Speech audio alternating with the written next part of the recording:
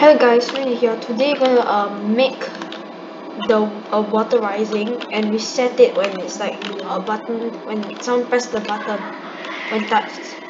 So yeah, so here is it. First we need to build the button. Oh yeah, the water over here is um in our last video script. I'll put the, script in the description for the rising water and uh the kill script.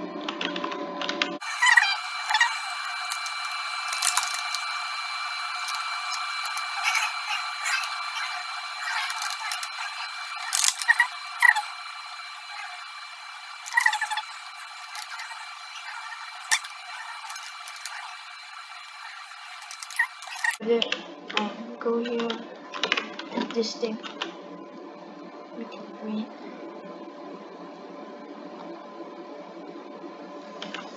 and here's the button.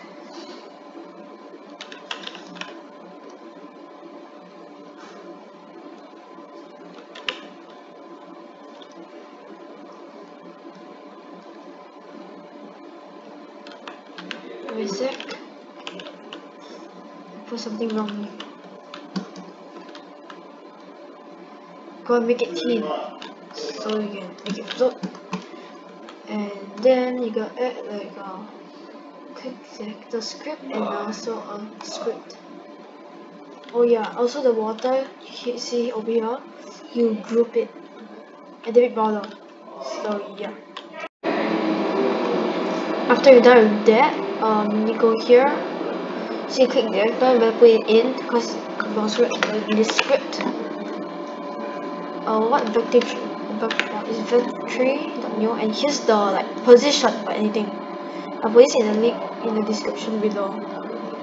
And first you need to put a position. So I'm just gonna put a a brick, any kind of brick one. Put it in the middle, so in the middle. It down and then check the position you see this this the position and then copy it. Copy then you press to go here and it with it this. Okay now let's test it.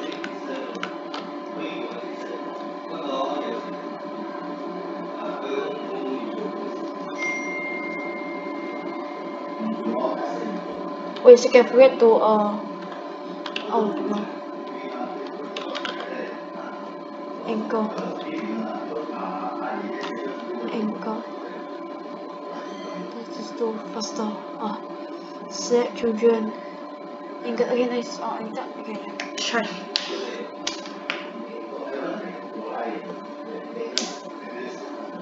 so water is right now rising.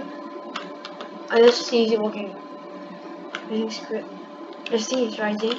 So you're just gonna do this. And now it's go all the way to the bottom again and it kills you too. So yeah just press the button and then you just restart again.